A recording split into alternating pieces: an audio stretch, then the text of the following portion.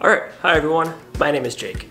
Today I'm going to be turning this digital picture frame into a multi-use monitor for cameras or extended displays or inspections or just about anything you would ever need a screen for. I will be showing you how to modify this screen to make it a very useful tool for more than just hanging on walls and showing pictures. I got this picture frame from my wife as a gift several years ago and I really enjoyed it. I keep it in my office, I always have pictures on it, but lately I've just been kind of thinking I wanted to turn this screen into something else because I know it can have more than just one single purpose. I'm going to be adding links to everything in the description below in case you have a similar monitor. In case you're interested, this is an Aluratek 8-inch digital picture frame. The type of screen in here is very commonly used, so there's a good chance that you have this screen if you have a digital picture frame and it will be compatible with the board I have picked out. So I'm gonna go ahead and get started on this project. Thank you for watching and let's see how this goes. So let's get this thing taken apart here. Okay, so we have that front bezel taken off. Here we're just gonna remove the screen now. So be very careful when you're lifting this off. You're just gonna flip it up and all you wanna do is release this ribbon cable. So you're just gonna pry up that little clamp there and it's gonna come right out. So we have the screen, but every screen needs a board to supply both power and signal to it. So this is the board that I found to power this screen. It's got a 50 pin ribbon connector. It's got a power supply here and has a whole bunch of inputs, anything from HDMI to VGA to RCA. So that's gonna be you know, perfect for what I need. You can use it as a monitor for just about any of those types of inputs. There's also a handy 12 volt out pin right here that I can use to power something else auxiliary off this thing. But if you don't have you know this exact screen, you're going to be needing to do some uh, some searching online for a compatible board. It's not really that hard. Well, you really just need to look at the uh, serial number or the identification numbers on the ribbon. In addition to the board, it came with a control module. This plugs into the board as well, and it's going to be uh, just has a bunch of different buttons you can use to control it. I'm also going to be using the battery I made from a couple videos ago. So go ahead and check out how I made that battery. I also picked up a USB voltage converter. So it's going to convert 12 volts off of that board into 5 volts out of the USB. And we'll be using that to power something later on. So we have all of our boards, we have our battery, and we have our screen. So I took measurements of all of those boards and I designed and printed a case for everything. So it's all gonna fit nicely into this case and it has a little bezel that's gonna go over top of it. But you can see that there's slots for the inputs. There's gonna be a slot for the USB output. There's a spot for the battery back here. And then there's little slots for the control board there. And there's also some standoffs for each of the boards to screw into. I also printed a little cold shoe to connect it to just about anything to make it very usable. Basically what it comes down to now is just assembling everything, getting all of the plugs plugged in, everything soldered together, and uh, getting the power situation figured out, and then just screwing it all into the case and closing it up. So the first thing I want to do is get this step-up converter wired into this 12 volt auxiliary over here. On this board you can see we have a 12 volt and a ground. That's going to be our positive and negative. We have the same pins here on this board, so I'm just going to solder those directly. Okay, so I've just got a little jumper wire here. I've tinned the leads already, so they're good to go. So we're just gonna solder onto the ends here. So I have the USB 5 volt converter taped in there. I'll have some pilot holes drilled here. So I have the control section cut out where the buttons are reachable and I have them screwed in there. And then I have the ribbon connector hooked in there that connects onto this board just like that. Okay, so we've got our board in here with our USB hooked up. All we have left to do now is get the ribbon connector hooked onto the board.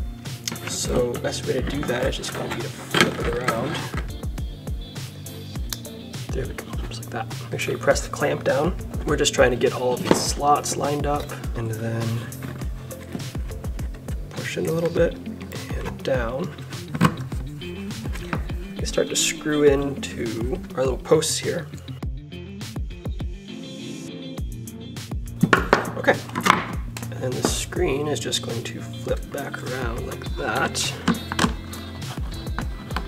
and sit right there. Cool.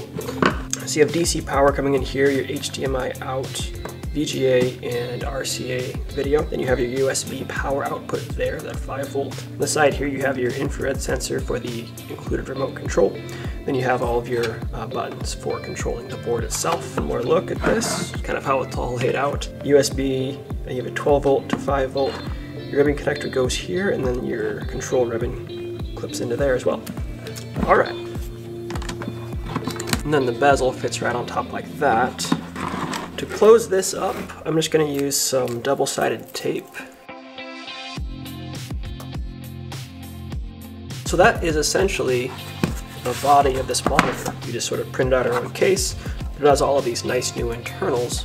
Now let's get this battery situation figured out because there's a good spot right here for the battery. I made this 12 volt battery a couple videos ago. What I did was I made a spot welder for these nickel strips to make battery packs. I welded the battery together as a test and then I soldered on a battery management circuit for charging and uh, balancing the cells. So what I'm gonna do is take this barrel connector and hook it up as a connection point for this battery for charging and for using it. But that gives me my next problem to solve, which I'm very excited about. So I want to be able to use this charger to charge all of my batteries that I want to make.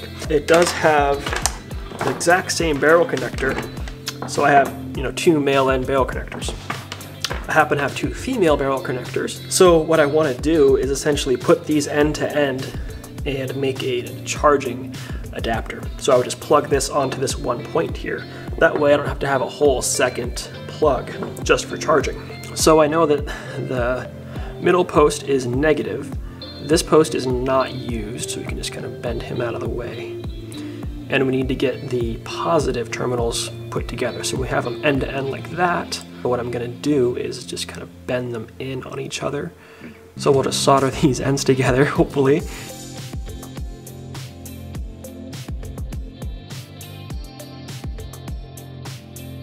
Ooh, you know what? I think that worked. Uh, yeah, we have the negative hooked up to the negative and the positive hooked up right in the middle there. So I'm just gonna wrap this up in some electrical tape just to protect it. So there is our little charging adapter. I'm also gonna wrap this battery in some electrical tape to protect it as well. Got ourselves a nice little battery pack and we're gonna get it charging here. Cool. Okay, so here's the finished battery. I'm just gonna secure this with some Velcro so it's nice and removable. So the battery's stuck on, now we can give it a test drive. So it's getting power, good, look at that. So it looks like this is working. I'm going to hook it up to this camera, this is a Canon M50, with this HDMI to micro HDMI adapter cable. Plug in the HDMI. Okay, this is me looking at the screen. There you are. All right.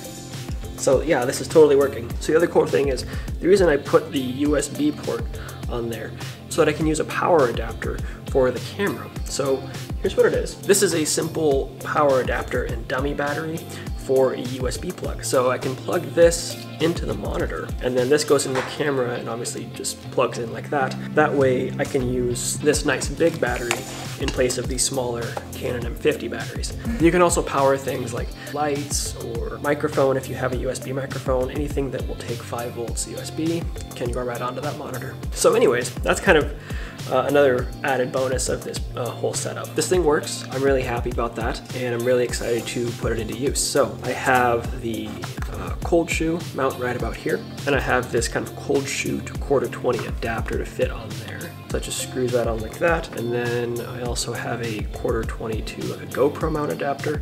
So there's a lot of adapting options to a cold shoe, that's why I went with a cold shoe. So I 3D printed a handle. So this handle can adapt onto GoPro, screw this in, so there's a bunch of different mounting options, handles, things like that. So this is a very useful tool. Uh, I recommend that if you do have a digital picture frame and you don't know what to do with it, you're not using it quite as much as you can, get something like this board and find yourself a 3D printed enclosure if you want to use mine.